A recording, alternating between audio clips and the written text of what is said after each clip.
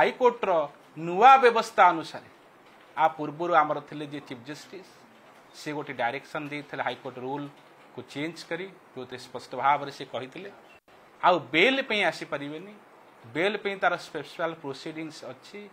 ଆପଣ ଖାଲି ଆସିବେ ପ୍ରୋସିଡିଂକୁ ଚ୍ୟାଲେଞ୍ଜ ଏ କ୍ଷେତ୍ରରେ ମୁଁ ଭାବୁଛି ଯେହେତୁ ଆପାତତଃ ପ୍ରମାଣଯୋଗ୍ୟ ତଥ୍ୟ ତଳ କୋର୍ଟରେ ବା ଜିଏମ୍ଏଫ୍ସିଙ୍କ ପାଖରେ ଅଛି ସେ ଅ, ଲିପ୍ତ ଅଛନ୍ତି ବା ଆଉ କୌଣସି ଡକୁମେଣ୍ଟସ୍ ବା ସାକ୍ଷୀ ପ୍ରମାଣ ତାଙ୍କ ପାଖରେ ଅଛି ଏ କ୍ଷେତ୍ରରେ ନିଶ୍ଚିତ ଭାବରେ ସେ ଅସୁବିଧାର ସମ୍ମୁଖୀନ ହେବେ ମାନ୍ୟବର ହାଇକୋର୍ଟରେ ସାଲେପୁରର ମାନ୍ୟବର ବିଚାରପତି ଅଭିଯୁକ୍ତ ନମ୍ବର ତେରଙ୍କ ଏଗେନିଷ୍ଟରେ ପଚିଶ ନଅ ତେଇଶରେ କଗ୍ନିଜେନ୍ସ ନେଇଛନ୍ତି କଗ୍ନିଜେନ୍ସ ନେଇଛନ୍ତି under section three zero two hundred twenty B এবং ফাইভ জিরো সিক্স ଭାରତୀୟ ପିଙ୍ଗଳ କୋଡ଼ର ଏହି ଧାରା ଅନୁସାରେ।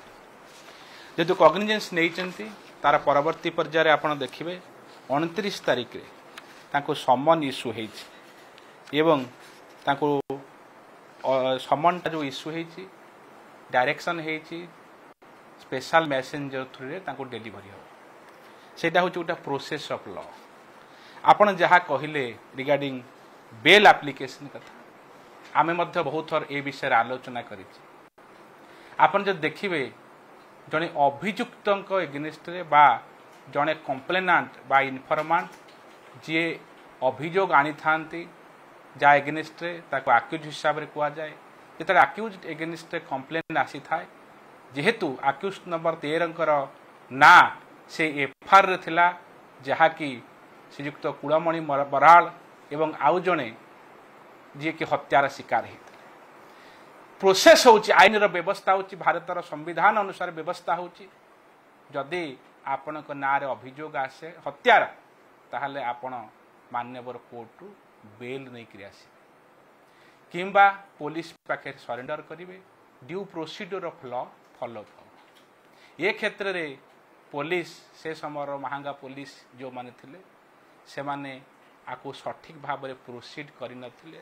ଏବଂ ଆକ୍ୟୁସ୍ ନମ୍ବର ଥାର୍ଟିନ୍ ତେର ଯିଏ ଥିଲେ ସେ ମାନ୍ୟବର କୋର୍ଟକୁ ଆସିକି ବେଲ୍କୁ ବେଲ୍ରେ ଯାଇନଥିଲେ ତାର ପରବର୍ତ୍ତୀ ପର୍ଯ୍ୟାୟରେ ଚାର୍ଜସିଟ୍ରେ ତାଙ୍କ ନାଁ କାଟି ଦିଆଯାଇଥିଲା ସୋ ସେ ଯେଉଁ ବ୍ୟବସ୍ଥାର ଗୋଟେ ଅଂଶ ଥିଲା ତାଙ୍କ ପାଖରେ ଗୋଟେ ଅପରଚ୍ୟୁନିଟି ଥିଲା ସେ ସମୟରେ ସେ କୋର୍ଟକୁ ଯାଇ ଆଣ୍ଟିସିପେଟରୀ ବେଲ୍ ଆପ୍ଲାଏ କରିଥାନ୍ତେ ତାଙ୍କ ବେଲ୍କୁ ମାନ୍ୟବର କୋର୍ଟ ଯଦି ସଠିକ୍ ଭାବିଥାନ୍ତେ ତାଙ୍କୁ ବେଲ୍ ଦେବାର ଆବଶ୍ୟକତା ଥାନ୍ତା ନିଶ୍ଚିତ ଭାବରେ ତାଙ୍କ କଥାକୁ କନସିଡର କରାଯାଇଥାନ୍ତା ସେ ସମୟ କିନ୍ତୁ ଆକ୍ୟୁସ୍ ନମ୍ବର ତେର ଗୋଟିଏ ଅପରଚ୍ୟୁନିଟିକି ସେ ସମୟରେ ହରାଇ ବସିଲେ।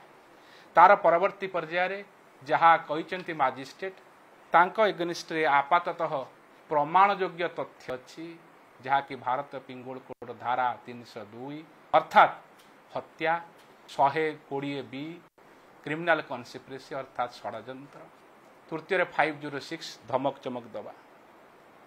ଯେହେତୁ ଏ ସବୁ ତଥ୍ୟର ଆପାତତଃ ପ୍ରମାଣଯୋଗ୍ୟ ଡକୁମେଣ୍ଟସ୍ କୁହନ୍ତୁ ବା ତଥ୍ୟ ତାଙ୍କ ପାଖରେ ଅଛି ତେଣୁ ସେ କଗ୍ନିଜେନ୍ସ ନେଇଛନ୍ତି।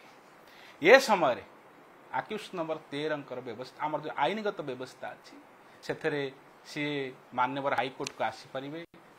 ଏଇ ପ୍ରୋସିଡ଼ିଂକି ଷ୍ଟେ କରିବା ପାଇଁ ଫୋର୍ ଏଇଟି ଟୁ ସିଆର୍ପିସିର ଧାରା ଅନୁସାରେ କଗ୍ନିଜେନ୍ସକୁ ଚ୍ୟାଲେଞ୍ଜ କରିବେ ଫର୍ଦର ପ୍ରୋସିଡ଼ିଂକି ଷ୍ଟେ କରିବା ପାଇଁ। কিন্তু ইন বিটুইন যেহেতু তাঙ্কু সমন হয়েছি সি সে সমনটাকে চ্যালেঞ্জ করবে সেইথে যদি আপনার আমো ভিডিওটি ভালো লাগিলা, তেবে আম চ্যানেলকে লাইক শেয়ার ও সাবস্ক্রাইব করিবাকু জমা বি ভুলন্তু নাহিঁ।